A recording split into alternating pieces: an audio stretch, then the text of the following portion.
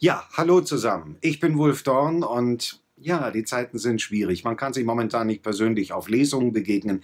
Deswegen gibt es heute eine kurze Online-Lesung aus 21 Dunkle Begleiter.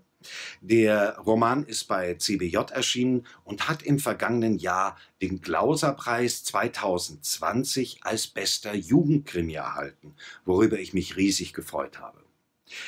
Er erzählt die Geschichte von Nika, einem reanimierten Mädchen, das seinen Mörder sucht.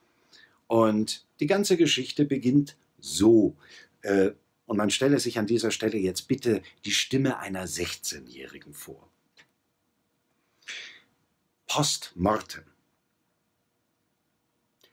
Niemand kann sich an seinen allerersten Gedanken erinnern.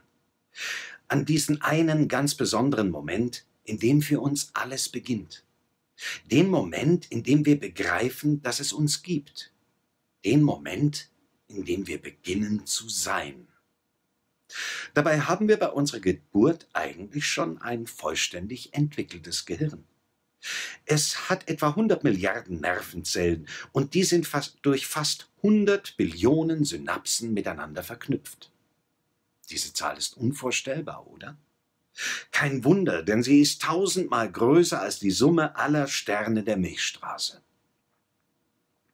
Jeder von uns trägt also ein eigenes kleines Universum in sich, das wie die leere Festplatte eines Computers nur darauf wartet, mit Wissen, Gefühlen und Erfahrungen gefüllt zu werden.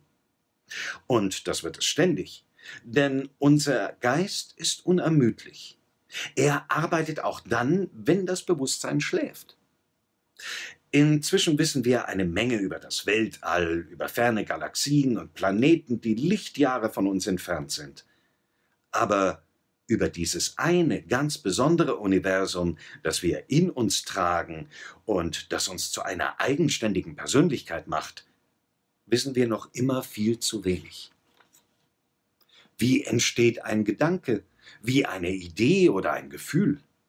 Und was bleibt eigentlich von uns, wenn wir einmal nicht mehr sind? Im Durchschnitt hat jeder Mensch etwa 60.000 Gedanken am Tag. Manche sind vielleicht unbedeutend, aber viele davon können unser Leben verändern, unsere Zukunft, das, was aus uns werden wird und aus anderen. Wir lernen, verstehen, überlegen, planen, hoffen, wünschen und lieben und das alles macht uns zu den Menschen, die wir sind. Bis wir dann irgendwann ein allerletztes Mal denken. An diesen letzten Gedanken, meinen letzten Gedanken, kann ich mich erinnern. Ich hatte Angst, schreckliche Angst. Mein Name ist Nika. Ich wurde ermordet. Aber das war erst der Anfang. Ja, und es ist auch der Anfang von 21. Ich hoffe, ich konnte euch neugierig auf dieses Buch machen, wünsche euch auf diesem Weg alles Gute, vor allem bleibt gesund und noch wichtiger, bleibt munter in diesen Tagen. Bis bald. Ciao.